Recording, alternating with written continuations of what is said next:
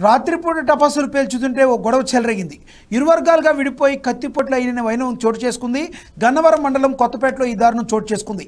కొత్తపేట రామాలయం దగ్గర యువకులు దీపావళి పండుగ సందర్భంగా టపాకాయలు కాలుస్తుంటే ఓ వ్యక్తి ఇక్కడ కాల్చకండి అనడంతో చెలరేగింది ఈ గొడవ. ఈ గొడవలో నక్క శ్రీనివాసరావు అనే వ్యక్తి ఇంటి వద్దకు వెళ్ళి కత్తి తీసుకుని వచ్చి ముగ్గురు యువకులపై దాడి చేశాడు. ఈ దాడిలో ఓ వ్యక్తి ఐ ఐదు కత్తిపోట్లకు గురై విజయవాడ ప్రభుత్వ ఆసుపత్రిలో చికిత్స పొందుతూ తరలించారు. మరో ఇద్దరు వ్యక్తులకు గాయాలయ్యాయి. చిన్న అవుటుపల్లి పెనంనేని ఆసుపత్రిలో చికిత్స పొందుతున్నారు.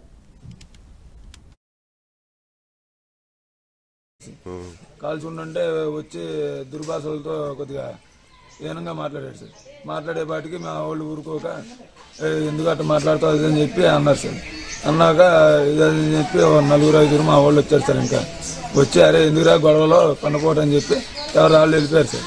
వెళ్ళిపోయిన తర్వాత సైలెంట్గా ఎప్పుడు వచ్చాడో తెలియదు ఒక కత్తి ఒకటి నిమ్మకాయలు కోసే కత్తి తీసుకొచ్చేసి సైలెంట్గా అసలు పొడిచినట్టు కూడా తెలియదు సార్.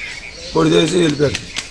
ఆ తర్వాత ఏంటి అరుపులు అని చెప్పి ఆ పక్కన ఉండి కేక ఏంటి ఈయన మేము పక్కన నుంచి వచ్చాము సార్. సార్. అసలు పిల్లల్ని అల్లకొల్లాలని చేసేసాడు అయ్యా. ఏం జరిగిందమ్మా? దేంతో పొడిచారు? నా- మేము వెళ్ళేసరికి హాస్పిటల్కి వెళ్ళిపోయారండి. నేను బయటకు వచ్చేసరికి. నేను అసలు కత్తితో పడిచాడు అంటున్నారు పిడి ఉందంట ఆ చాకేమో వాళ్ళ మా బావో ఎవరో ఇరిచేసాడంట అది అయిపోయిందని చెప్పి ఇక్కడికి వచ్చి ఆ సీసాలు పగలగొట్టి సూదిగా తయారు చేసి మళ్ళీ పొడవటానికి నా దగ్గర కూడా వస్తున్నాడు వాడు. వస్తుంటే అప్పుడు పోలీస్ అన్న వచ్చాడు. వచ్చి అక్కడి నుంచి వెళ్ళిపోతుంటే పోలీస్ అన్న ఇక్కడ వస్తున్నాడంటే ఇప్పుడు నేనే కేకేసా పోలీస్ అన్న రా అని కేకేసా పెద్ద ఆయన ఉన్నాడు అందులో. కేకేస్తే అప్పుడు ఆయన ఇక్కడికి వచ్చి ఎరా ఆగరా ఆగరా అంటే ఆగట్లా పరిగెడుతున్నాడు. ఆ సీసా అక్కడ పడేసి పరిగెడుతున్నాడు ఇక. అప్పుడు ఆయన వెనకాల వెళ్ళి సేమ్ చేసి పట్టుకొచ్చాడు. ఇప్పుడు ఎవరో ముగ్గురు ముగ్గురు పేర్లు ఏంటమ్మా విజయ్ బాబు. విజయ్ రాజు అభిలాష్. ఇప్పుడు ఎలా ఉంది అక్కడికి మా విజయ్ రాజుకును విజయ్ బాబు బాగా ఇదిగా ఉన్నాయి ఉమ్, ఎక్కడ పొడిచారమ్మా? అభిలాష్నేమో ఇక్కడ మూడు పోట్లు పొడిచాడండి. ఈ విజయ్నేమో వెనకాల రెండు పోట్లు పొడిచి ఎదర ఇలా మనం ఆపరేషన్ చేసినట్టు బారుగా దిగిపోయింది. ఒక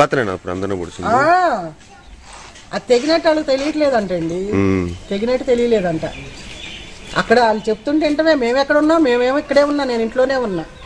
నాకు అసలు టైందని అన్నా చెప్తే గబిక్కినెళ్ళి పిల్లలన్నా తీసుకొచ్చుకునేదాన్ని నేను. అది ఇక్కడ కూర్చున్నాడు ఇక టపాకాయలు కాలుతా. వాళ్ళు ఎవరు అరుచుకుంటున్నారని వెళ్ళాడంట మధ్యలో వెళ్ళినోడిని పొడి చేశారు మా పెద్దోడిని. చాకు.